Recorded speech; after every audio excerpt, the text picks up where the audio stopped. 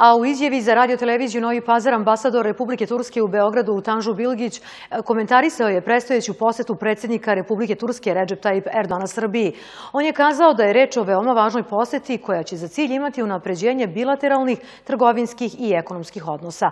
Ambasador je posebno apostrofirao posetu Sanđaku i realizaciju projekata važnih za razvoj ovog kraja, kakvi su izgradnja aerodroma u Kraljevu i autoputeva u regionu. Tayyip Erdoğan e, Sırbistan'a Predsjednik Recep Tayyip Erdogan će ove nedjelje imati važnu posjetu. Očekujemo da će predsjednik biti u Srbiji u ponedeljak veče. On će nakon posjete Beogradu utorak u srijedu biti u posjeti Novom pazaru. Riječ je o posjeti koja se na relaciji dva predsjednika dešava nakon gotovo osam godina.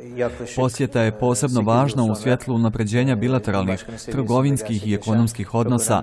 Vjerujemo da će privredni i trgovački odnosi postići zamah zahvaljujući ovoj posjeti tokom koje će biti potpisani mnogi sporazumi.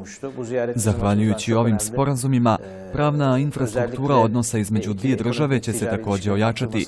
Naš predsjednik će tokom boravka u Beogradu posjetiti neke istorijske znamenitosti kakav je Kalemegdan, a tokom posjete Novom pazaru sastaće se sa gradonačelnicima tog kraja i posjetiti Bošnjačko nacionalno vijeće.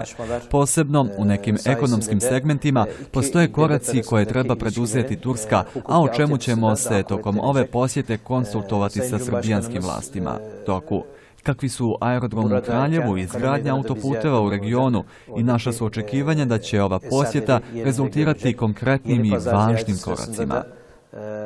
Yeni Pazar'daki o bölgedeki belediye